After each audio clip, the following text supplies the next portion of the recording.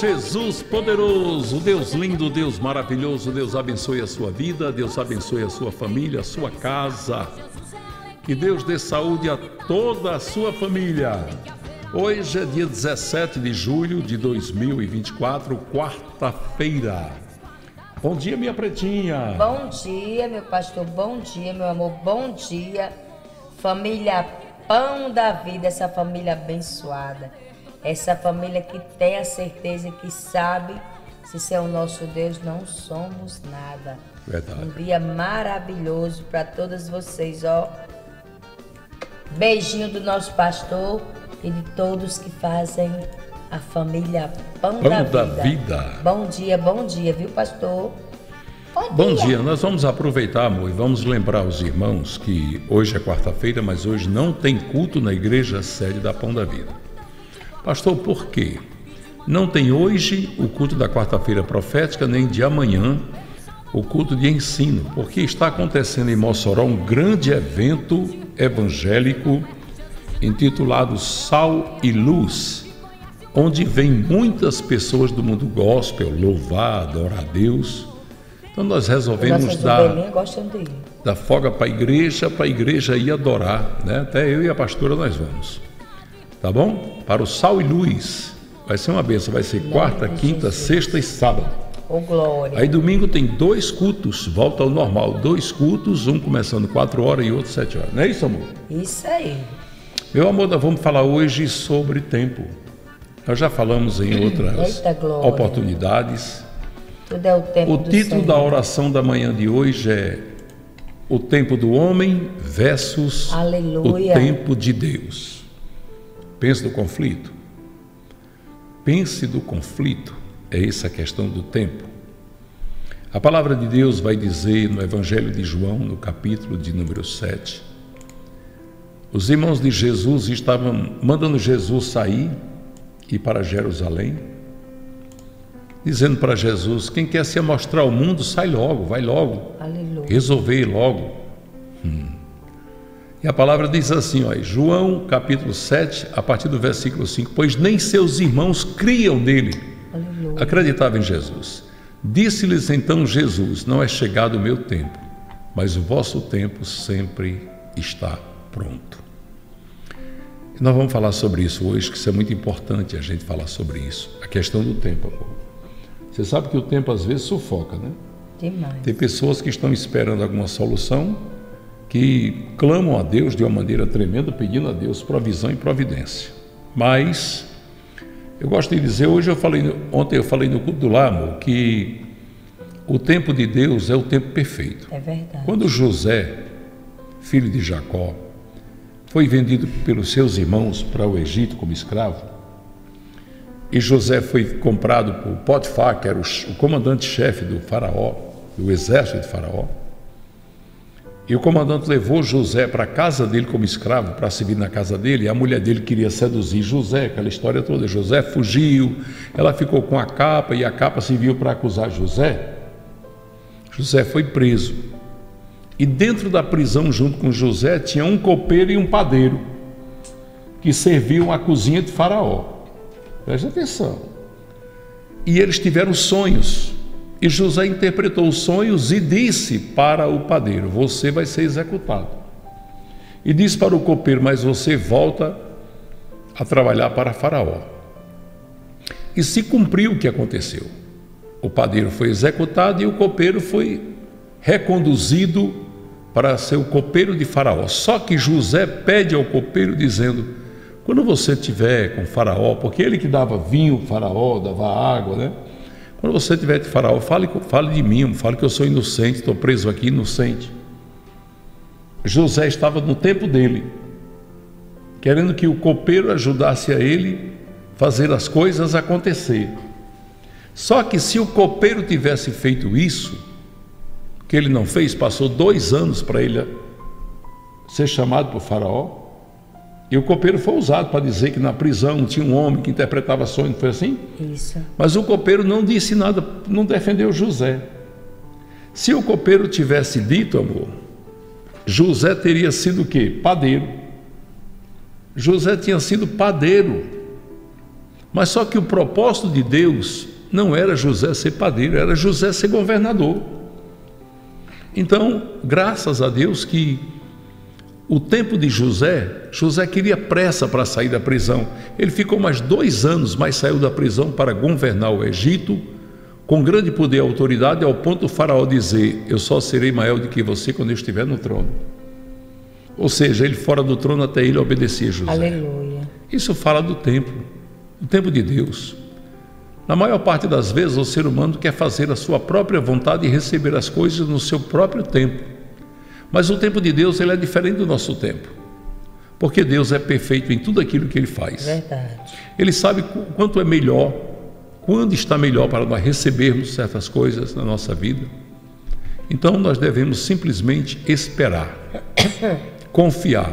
Veja o que diz o Salmo 27, versículo 14, amor. Espera no Senhor, seja forte, coragem. Espere no Senhor. Está vendo a palavra dizendo seja forte, espere no Senhor. Fala duas vezes nessas poucas palavras. Espere no Senhor, seja forte, tenha coragem, espere no Senhor. Veja aqui Gênesis capítulo 18, versículo 14. Existe alguma coisa impossível para o Senhor? Na primavera voltarei a você e Sara terá um filho. Jesus e os dois anjos na Aleluia. tenda de Abraão. Veja aqui Gênesis 21, 2. Sara engravidou e deu um filho a Abraão em sua velhice, na época fixada por Deus em sua promessa. Na época Aleluia. fixada, quer dizer, na época que Deus havia estabelecido, Isaac chegou. Aleluia. Salmo 31, versículo 15. O meu futuro está nas tuas mãos. Livra-me dos meus inimigos e daqueles que me perseguem. Pronto. Meu, Aleluia. meu futuro está nas tuas mãos. Veja o que o salmista diz no Salmo 37, nos versículos 3 e 4. Confie no Senhor e faça o bem. Assim você habitará na terra e desfrutará a segurança.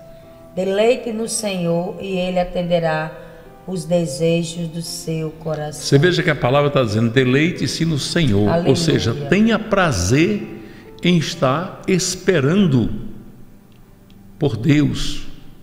né? Veja o que diz o Salmo 90, versículo 4. De fato, mil anos para ti são como o dia de ontem que passou, com as horas da noite. A palavra está dizendo o quê? Que mil anos são para Deus como o dia de ontem. Deus é eterno, né? Nós temos que ter a convicção, a certeza de que Deus ele sabe o tempo certo Aleluia. para atender o nosso pedido. Olha aqui o que diz Eclesiastes 8, 6. Porquanto há uma hora certa e também a maneira certa de agir para cada situação. O sofrimento de um homem, no entanto, pesa muito sobre ele.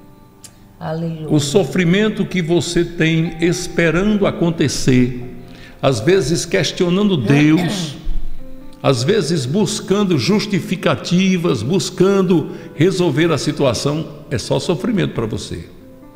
Mas veja o que diz Isaías 40, 31.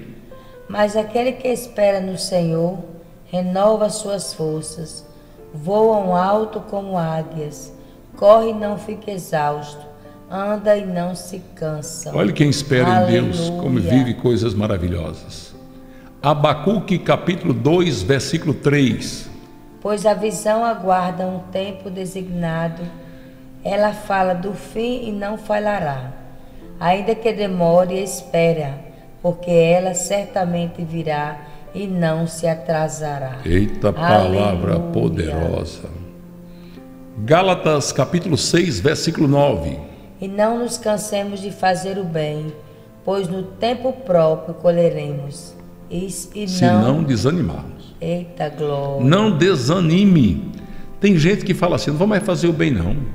Vou nada, não vou ajudar nada, não mereço isso aqui. A palavra está dizendo: Aleluia. continue fazendo o bem, que no tempo certo você será recompensado. Efésios capítulo 2, versículo 10. Porque somos criação de Deus, realizada em Cristo, para fazermos boas obras, as quais Deus preparou antes para nós a participar. As praticarmos. Veja o que diz a palavra de Deus aqui, Hebreus capítulo 6, versículo 12. De modo que vocês não se tornem negligentes, mas imite aquele que, por meio da fé e da, e paciência. da paciência, receba a herança prometida. Está vendo? Vai receber aquilo que Deus Aleluia. prometeu. Irmãos, é muito importante a gente saber que quando Deus fala, Deus cumpre. Verdade. Deus não falha. Eu sei que você que está me assistindo aí, você talvez esteja dizendo: Deus, essa palavra é para mim. Porque eu ando muito, muito preocupado, porque até agora Deus não, não me deu o que eu peço. Aleluia. Não se preocupe, no tempo certo Deus vai dar. Só diga a Deus, Senhor, que a minha espera, que o meu sofrimento, a minha angústia seja para a glória do teu nome. Diga só isso, espere no Senhor, que o nosso Deus é fiel. Vamos orar, irmãos. Vamos orar falando com Deus, Sim. pedindo a Deus que nos dê paciência e, acima de tudo, convicção de que quem espera no Senhor alcança o cumprimento da promessa. Ore comigo e com a pastora Jossanete, Pai. Ah, Senhor, nós queremos agradecer. Sim. Queremos, Pai, agradecer por, pelo teu amor, Deus, Sim. pela tua bondade, pelos teus cuidados, Paizinho. Porque nós sabemos, Deus, que são muitas as dúvidas que às vezes pairam sobre nossas mentes. Mas, Pai, há uma certeza, há uma convicção do teu poder, da tua lealdade, do quanto o Senhor é fiel para cumprir as suas promessas. A Deus nos ensina a esperarmos confiando, Pai. A esperarmos, Pai, conscientes, Deus, de que o Senhor tem a coisa certa a ser feita na vida de cada um de nós. A esperarmos, Pai, pela tua provisão, pela tua providência, pelos teus cuidados, por tudo que tu és para cada um de nós. Nos ajuda, Paizinho querido. Nos ajuda, Pai, a suportarmos esse tempo de espera com a certeza que o Senhor está cuidando de tudo. Especialmente aqueles, Pai, que ficam sofrendo com as suas enfermidades, esperando a cura. Aqueles, Pai, que ficam sofrendo vendo a mesa vazia, vendo os seus celeiros vazios. Que possam, Deus, dizer como Abacuque disse ainda, que a figueira não floresça. Ainda que não haja fruto na vide, mesmo assim te louvarei e te adorarei. Pai, ensina o teu povo a esperar. Ensina o teu povo a saber que tu és Deus, Deus poderoso, Deus que tudo pode, Deus que tem Deus para cada um de nós. Milagres, maravilhas e coisas maravilhosas. Abençoa o teu povo, Deus, poderosamente. Torna a mesa farta. Sim. Alimenta, Senhor, a família. Assim. Cuida, Deus, daqueles que esperam em Ti, pois somente o Teu amor, Deus, é capaz de nos fazer esperar, cheio de esperança, de confiança e da certeza que Tu és Deus em nossas vidas. Abençoa, Deus, e recompensa nossas moderadoras, moderadores, nossos pastores e pastoras, obreiros e obreiras. Abençoa, Deus, com grande poder os teus filhinhos e filhinhas, Pai querido, que fazem a tua obra junto conosco, que nos ajudam, Deus, com seu amor, com seus dízimos e ofertas. Abençoa os que têm votos e propósito para que alcance aquilo que estão pedindo ao Senhor. Abençoa os que oram por esta obra e os que pedem oportunidade para ajudá-la. É isso, meu Deus, que nós pedimos e agradecemos no santo e poderoso nome de Jesus Cristo nos abençoa poderosamente. Em nome do Pai, do Filho e do Espírito Santo. Amém. Amém. Amém, Paizinho querido. Amém, Deus amado, Deus querido. Pararampã, nosso Nosso coraçãozinho coraçãozinho. apaixonado por Jesus e por vocês. Eita glória. Beijo, um abraço cheio do Espírito Santo. Inscreva-se aqui no canal, dê o seu like, participe. É tempo Nós estamos na quarta-feira, dia amar. 17 de julho. Tá Avisando mais uma vez, irmãos, não tem culto de quarta-feira profética hoje, Nem o dei sim. nem o culto de ensino amanhã Eita na glória. sede da Pão da Vida. Por quê, pastor? Porque os irmãos foram liberados para ir adorar a Deus no grande evento evangélico, numa promoção da Prefeitura Municipal de Mossoró. O evento chama-se Sal e Luz. Aleluia. E vem grandes nomes adorar a Deus e nós vamos adorar com eles. Te vejo lá. Beijo! Deus abençoe. A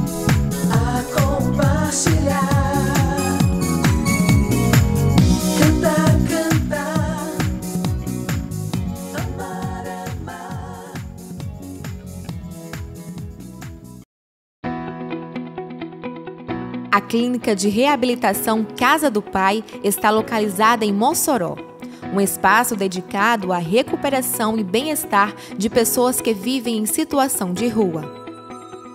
Com uma área construída de mais de 4.800 metros quadrados, nossa clínica está preparada para oferecer um ambiente seguro e acolhedor para até 60 internos. Em breve, com capacidade maior na ala feminina que está em construção. Nossos quartos são equipados com beliches, guarda-roupas e ventiladores, garantindo conforto e organização para todos os residentes. Para momento de lazer e atividade física, a Casa do Pai possui uma piscina semiolímpica e uma quadra poliesportiva, incentivando um estilo de vida saudável e ativo. Valorizamos também a capacitação e o desenvolvimento pessoal temos uma área de plantio e três galpões destinados a cursos profissionalizantes para preparar os internos para um futuro melhor. A saúde é prioridade. Disponibilizaremos gabinete odontológico, salas para atendimento médico e uma enfermaria completa para cuidar do bem-estar dos residentes. Na Clínica de Reabilitação Casa do Pai, estamos comprometidos com a recuperação e transformação. Na casa do Pai, cada dia será uma oportunidade para recomeçar. A casa do Pai será um lugar para resgatar vidas. Faça parte dessa obra e nos ajude nessa missão.